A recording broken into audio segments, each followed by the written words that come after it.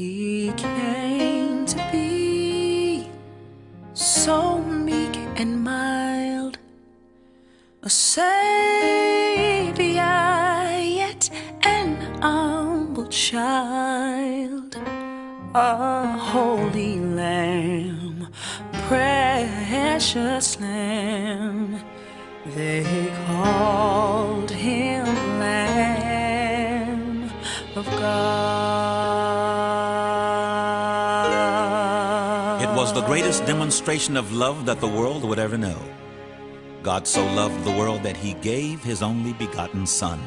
And this Son came as a lamb. He would become a conquering king, but he came as a lamb. He would be King of kings and Lord of lords, but he came as a lamb, and he came for you.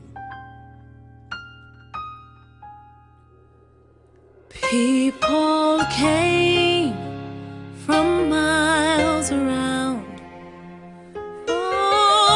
to worship and bow down.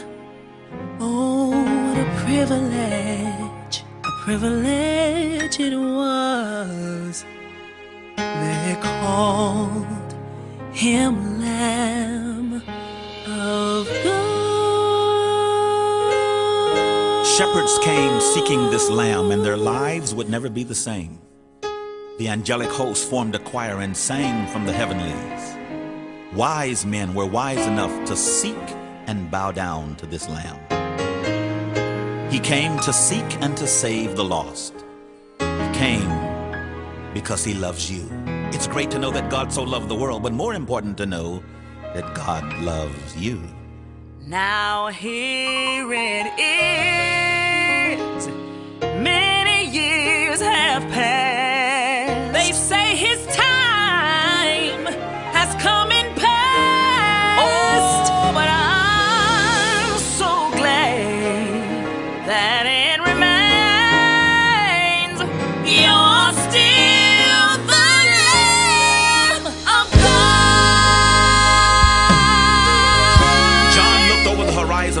one walking as no man walked, and he said, Behold the Lamb of God who takes away the sin of the world.